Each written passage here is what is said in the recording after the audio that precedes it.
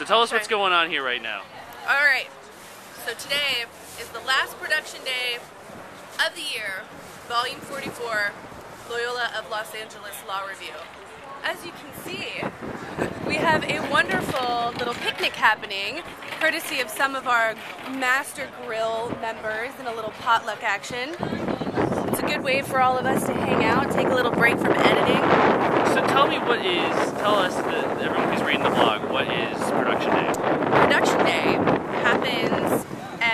end of each of our production cycles. So we have four a year.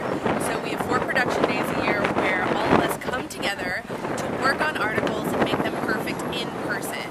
So you have the production editors with all the staffers looking at the blue booking and all the citations.